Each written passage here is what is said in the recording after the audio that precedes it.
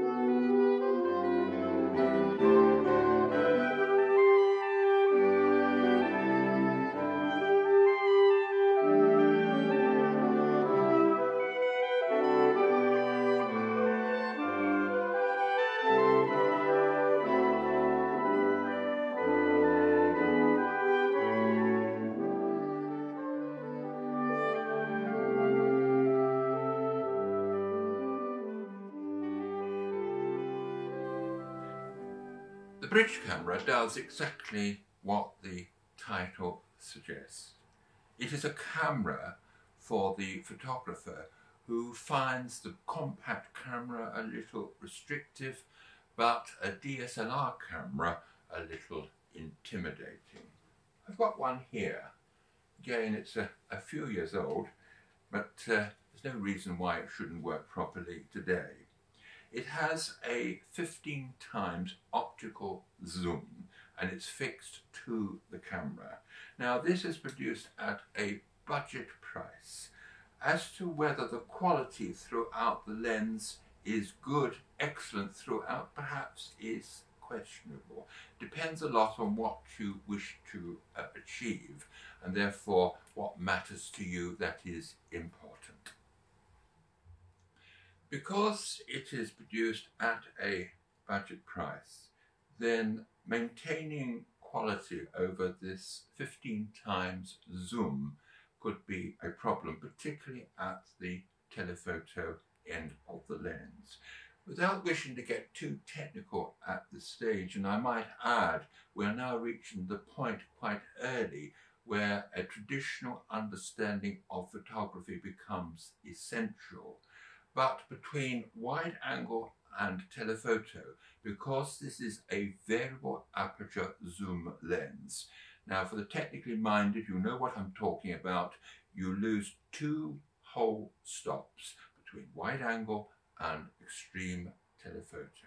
And if with a camera like this you are photographing action, then because of the lack of light, then it becomes difficult under poor light to freeze the action.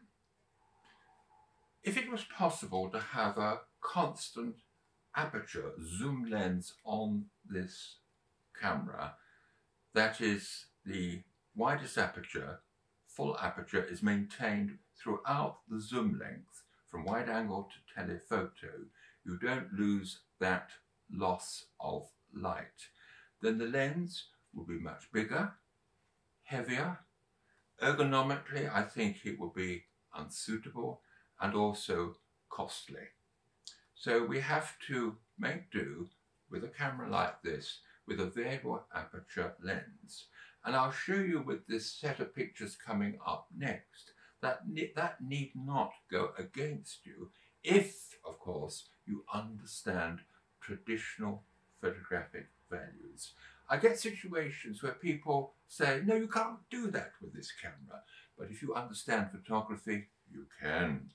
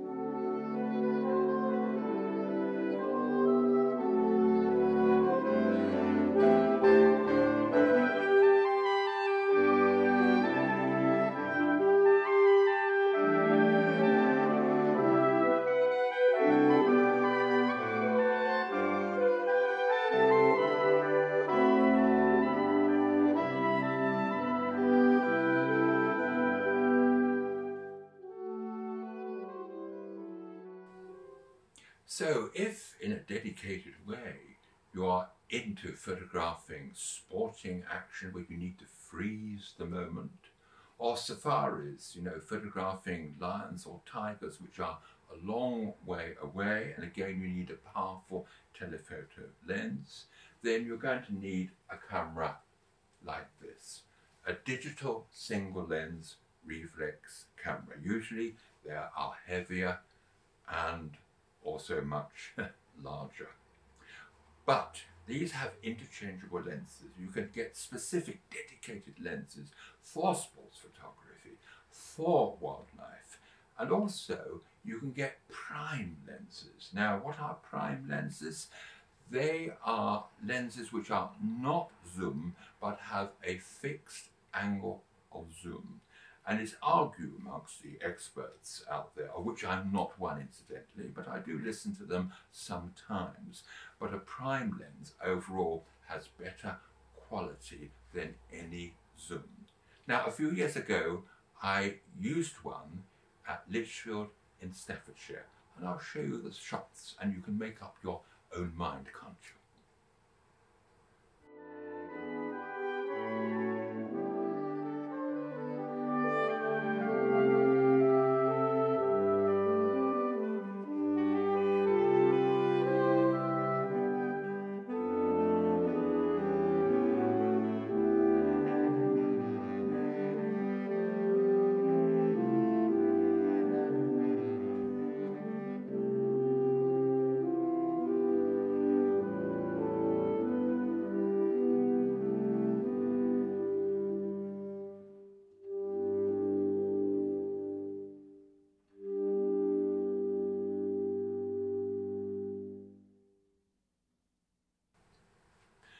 An important bugbear with this type of camera digital single lens reflex cameras and mirrorless as well, that when you take the lens off like that, then you are risking dust reaching the delicate sensor, causing blotches on the photograph.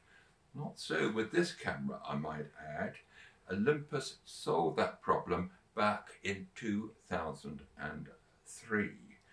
You don't, of course, get that sort of problem with compact or bridge cameras because the lens is permanently fixed to the camera, so therefore the problem does not arise. Without getting too technical at this stage, I hope that I've given a clear explanation as to why you might choose a digital camera, compact, bridge or DSLR over a smartphone.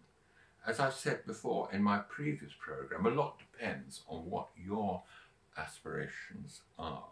Now, one thing you may have heard about is the size of the sensor. There are different sensor sizes, It's not like 35 millimeter film where we had one standard. No, we don't have that luxury here and very often there is a heated debate as to which one is better, which I'm not going to go into here. Now, in program number three, I'm going to talk more about lenses and their importance and also explain the difference between optical zoom and digital zoom. There is quite a difference. Also, I shall be going into other aspects of photography very gingerly, such as apertures. Yes, you do need to understand them in order to produce creative pictures. And I shall be heading, you've been warned, I shall be heading in that direction, possibly in the next program. So I hope I haven't scared you off, and I'll see you eventually in program number three.